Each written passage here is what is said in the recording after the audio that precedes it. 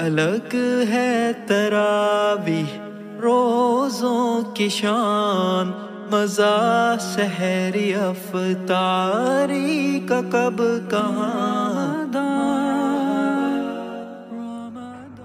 نحمده ونصلي ونسلم على رسوله الكريم اما بعد، فاعوذ بالله من الشيطان الرجيم بسم الله الرحمن الرحيم يا أيها الذين آمنوا كتب عليكم الصيام كما كتب على الذين من قبلكم لعلكم تتقون.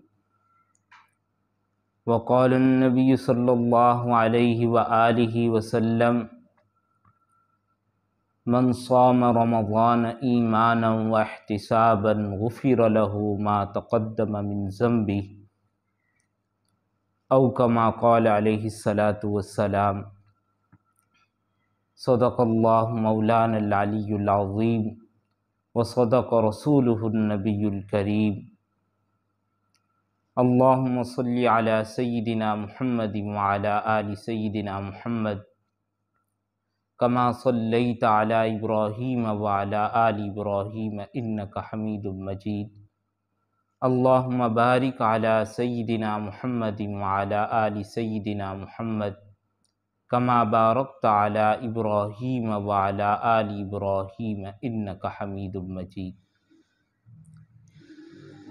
سب سے پہلے میں آپ حضرات کو رمضان ٹرانسمیشن کے اندر خوش آمدید کہتا ہوں۔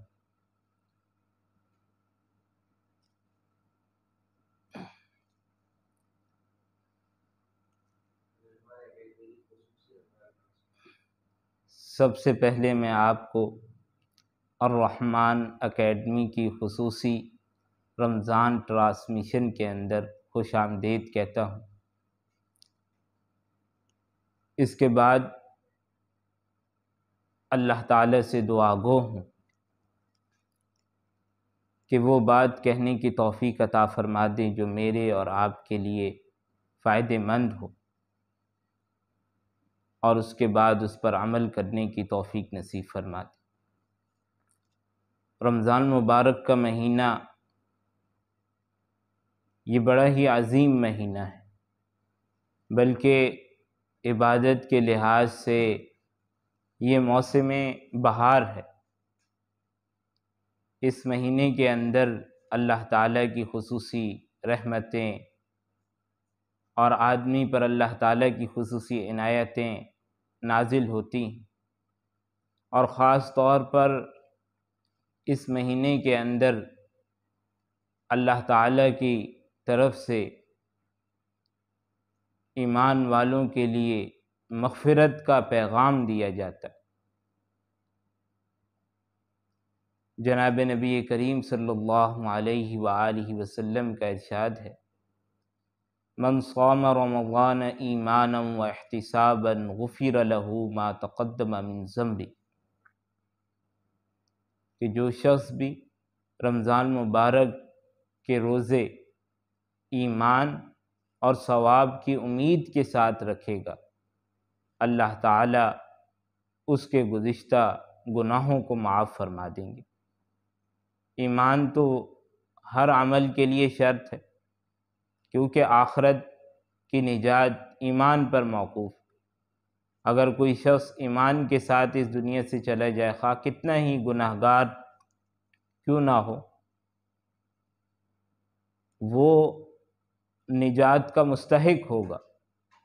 اگرچہ یہ ممکن ہے کہ اپنی گناہوں کی وجہ سے اسے کچھ عرصے جہنم میں جانا پڑے، لیکن بالآخر جہنم سے اس کو خلاصی ضرور نصیب ہوگی لیکن اللہ معاف کرے، اگر ایمان کی دولت کے بغیر آدمی اس دنیا سے چلا گیا، تو آخرت کی تباہی ہی تباہی، عذاب ہی عذاب ہے، تکلیف ہی تکلیف ہے۔ اور ایمان کے بغیر اور ایمان کے بغیر نجات کا کوئی راستہ نہیں۔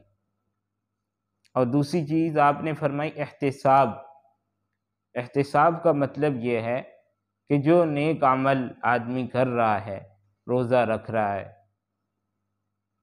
اس کے اندر اللہ تعالیٰ کی ذات پر بھروسہ ہو کہ یہ جو روزہ اور نیک عمل میں اللہ تعالیٰ کی خاطر کر رہا ہوں، تو اللہ رب العزت میرے اس عمل کو ضائع نہیں کریں، بلکہ اللہ تعالیٰ اس کو، اس پر مجھے ثواب عطا فرمائیں گے اور یہ عمل میرا اللہ تعالیٰ کی رضا کا ذریعہ بنے گا۔ اور آخرت میں نجات کا ذریعہ بنے گا۔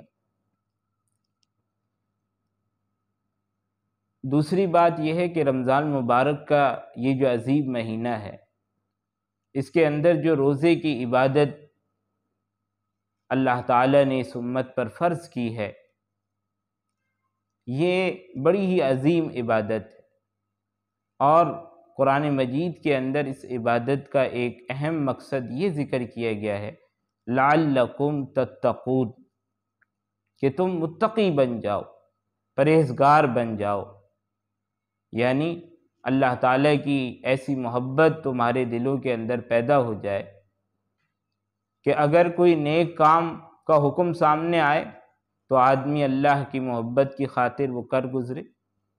اور اگر کوئی گناہ کا موقع آدمی کے سامنے آ جائے تو اللہ تعالیٰ کی خوف کی خاطر اللہ تعالیٰ سے ڈرتے ہوئے آدمی اس عمل سے باز آ جائے اور اس برے عمل کو چھوڑ دے۔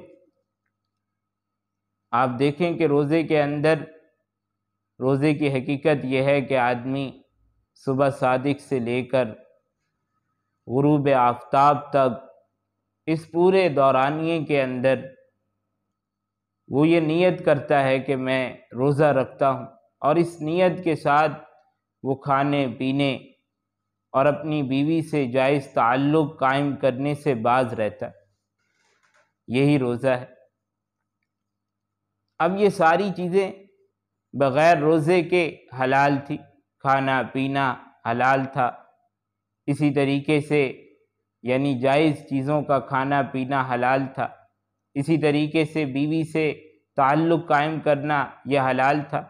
لیکن روزے کی وجہ سے آدمی پر کچھ وقت کے لیے ایک مخصوص دورانیے کے اندر یہ چیزیں حرام قرار دے دی گئی، منع کر دیا گیا، ان سے روک دیا گیا۔ تو آدمی جب اللہ تعالیٰ کے حکم پر حلال چیزوں سے رک رہا ہے، جو روزے کے اندر ممنوع ہیں، تو کیسے اس کو اللہ تعالیٰ کی حرام کردہ چیزوں سے نہیں رکنا چاہیے۔ جو روزے کے اندر بھی اور روزے کے علاوہ بھی حرام ہے۔ مثلا آدمی روزہ رکھے اور پھر جھوٹ بھی بولے۔ روزہ رکھے غیبت میں مبتلا ہو جائے۔ روزہ رکھے بد دیانتی کے اندر مبتلا ہو جائے۔ روزہ رکھے اور پھر ناپ تول کی کمی کے گناہ میں مبتلا ہو جائے۔ روزہ رکھے اور اس کے بعد بد نظری کے گناہ میں مبتلا ہو جائے۔ روزہ رکھنے کے بعد کوئی اور حرام اور ناجائز کام کے اندر مبتلا ہو جائے۔ تو اس سے روزے کا جو مقصد ہے اور جو اہم فائدہ ہے وہ فوت ہو جائے گا۔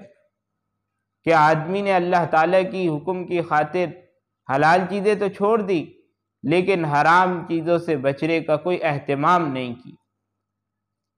اس لیے حدیث میں آتا ہے، کم من صائمن لیس صیامہ الا وما کہ کتنے ہی روزے دار ایسے ہیں جن کا روزہ سوائے بھوک اور پیاز کے کچھ بھی نہیں، کہ وہ پورے دن بھوکا پیاسا رہتے ہیں اور روزے کی پابندی کرتے ہیں۔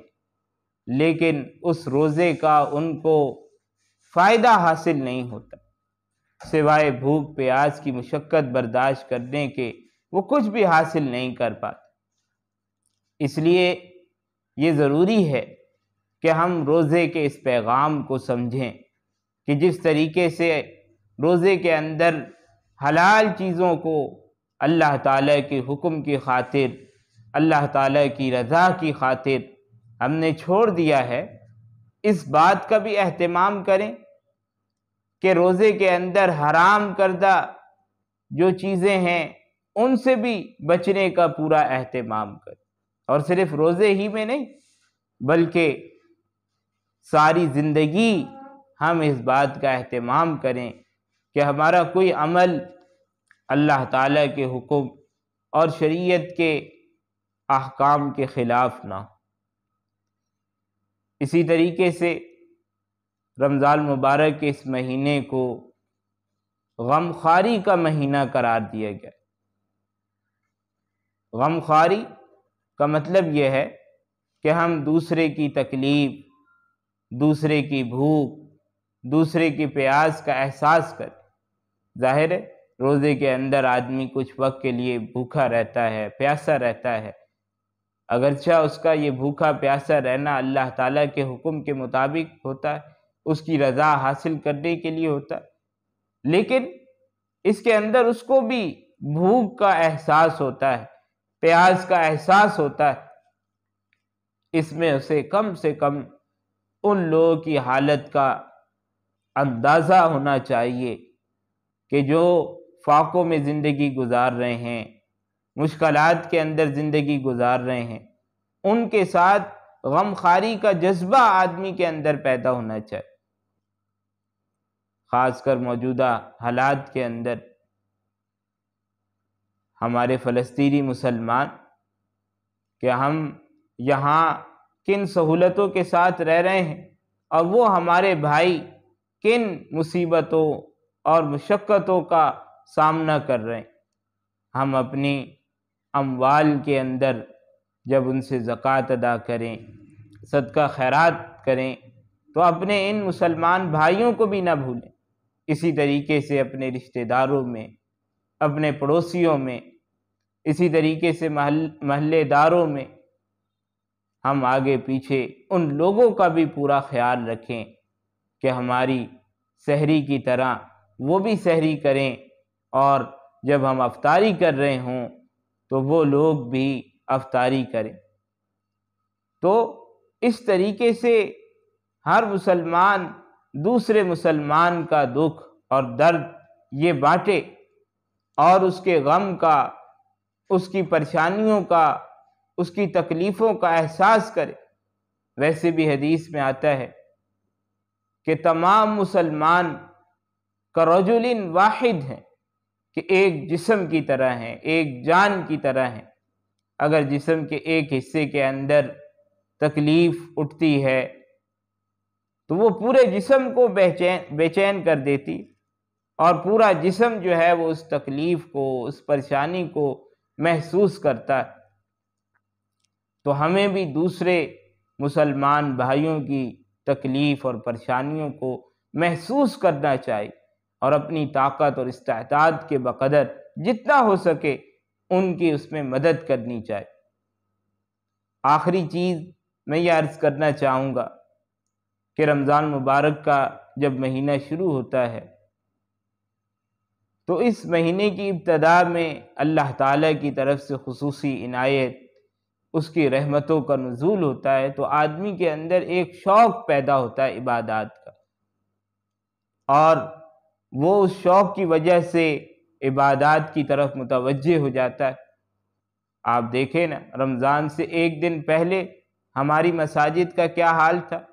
اور جیسے ہی رمضان مبارک کا چاند نظر آیا، اس کے بعد عشاء کی نماز، پھر اگلے دن فجر کی نماز، ان میں کیا حالات تھے؟ کس قدر نمازیوں کے اندر اضافہ ہو گیا؟ اور لوگ جوک در جوک مسجدوں کی طرف رخ کرنے لگے۔ لیکن پھر ہوتا یہ ہے کہ آہستہ آہستہ وہ شوق کم ہونے لگتا۔